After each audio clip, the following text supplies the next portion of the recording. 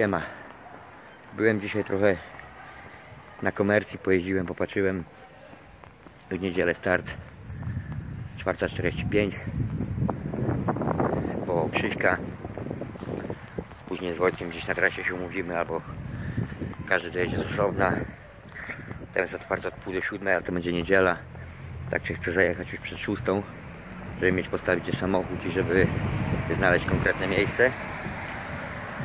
Jutro godzina siódma rano Lechle, małe jeziorko, jutro żaden grunt, tylko dwie spławikówki i kukurydza.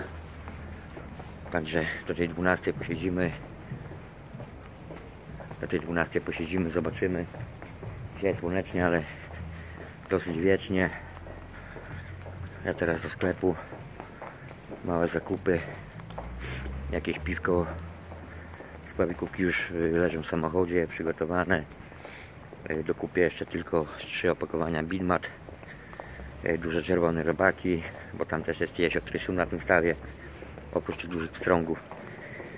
Także trzy wędki 50 euro. Także do tej godziny 17 trzeba się jeść.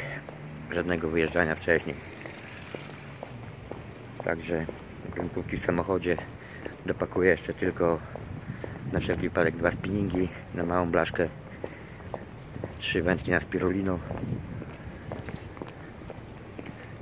I będziemy próbować. Wszystko zależy od pogody. Dzisiaj dosyć wiecznie, ale słonecznie. Także dzisiaj z tego co widziałem było paru wędkarzy, ale szału z rybami nie było. Jeden miał trzy małe na małym stawie. Na drugim dużym stawie jeden miał dwa większe, takie pięćdziesiątki. I tam trzech młodych jeszcze też parę sztuk.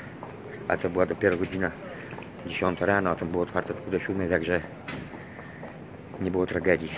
Po pięć, po trzy sztuki w 3 godziny. Także ja jutro na Lechle tylko na spławik, na kukurydzę. Delikatnie, nie będę gruntówek rozkładał. Jutro już wtorek. Może po rybach umyję samochód. I zobaczymy jaka będzie pogoda. W niedzielę jest znowu ochłodzenie. Ma padać deszcz. Tam jest trochę lipa, bo jeżeli będzie wiało, nie ma gdzie się schować w ogóle ani od deszczu, ani od wiatru, nic. To są dwa stawy przy ulicy bezpośrednio na głównej drodze. Także zobaczymy. Ja mam namiot w samochodzie, także może da mi go yy, parasol w samochodzie, może da mi się go radę rozłożyć.